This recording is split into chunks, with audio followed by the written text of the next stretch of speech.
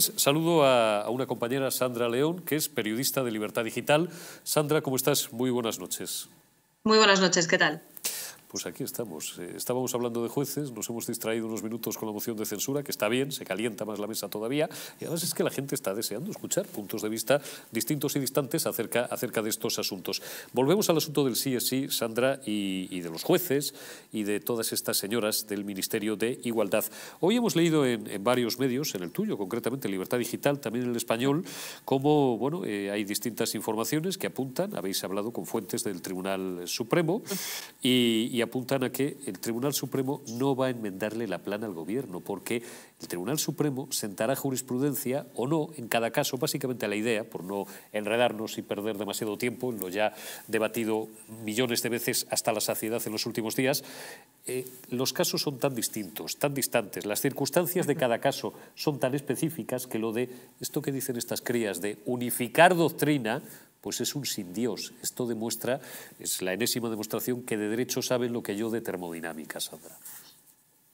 Pues eh, sí, efectivamente. No sé lo que sabes de termodinámicas, pero desde luego que ellas de esto saben más bien poco, ¿no? Efectivamente, fuentes del alto tribunal lo que nos están diciendo es que esto ya no tiene solución, que la única salida que hay es, eh, bueno, pues aprobar una contrarreforma, que el gobierno reconozca me he equivocado y voy a aprobar una nueva ley. Esto mm, no parece que estemos en ese punto, desde luego, y además, incluso aunque llegásemos a ese punto, es importante subrayar que eso ya no revocaría todo lo que estamos viendo, ya no daría marcha atrás a todas las eh, reducciones de condena que se están aplicando ni a esa libertad en la que han quedado muchos violadores y agresores sexuales. ¿no? Ellos seguirían teniendo ese regalo. Pero efectivamente, como decimos, el Tribunal Supremo eh, no va a sentar doctrina. Esto es lo que nos dicen fuentes del alto tribunal, porque, como bien explicabas, eh, cada caso es diferente y ellos lo que nos insisten es que lo único que pueden hacer es aplicar la ley en cada caso visto individualmente. ¿no? Pero más allá de ese pronunciamiento que el Gobierno espera, espera del alto tribunal, del Tribunal Supremo, y que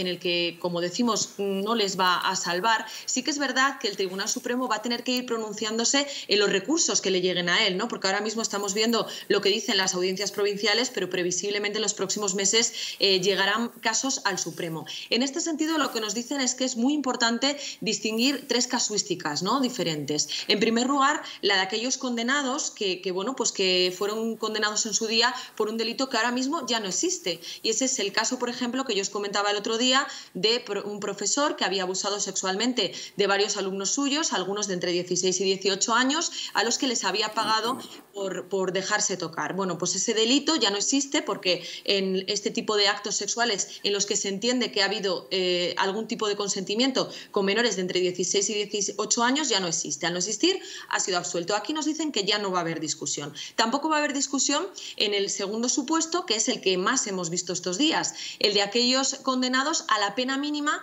dentro de la horquilla que se prevé para un delito concreto. Si la mm, horquilla para un delito antes era de 8 a 12 y ahora va de 6 a 12, si en la sentencia los jueces han dictaminado que va a ser condenado a la pena mínima, si la pena mínima baja, va a haber reducción de condena. Eso es incuestionable, según nos dicen. Pero luego es verdad que va a haber otro tercer caso, que puede haber algún condenado que esgrima, bueno, yo fui condenado a una pena intermedia dentro de la horquilla, si esa horquilla disminuye, habrá que aplicarme algún tipo de proporcionalidad. Aquí puede que haya cierto debate, pero en los otros dos no va a haber debate. La ley es clara, el Código Penal establece que la ley es retroactiva si beneficia al reo, por tanto, no hay discusión posible.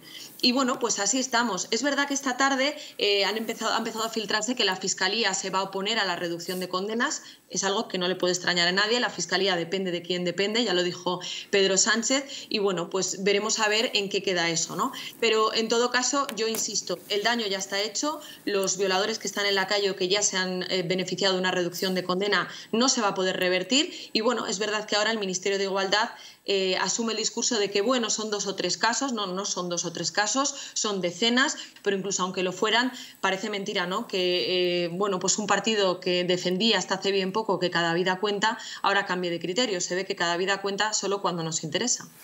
Sandra León, muchísimas gracias por habernos dedicado, como cada semana, unos minutos. Cuídate y te envío un abrazo. Otro para vosotros.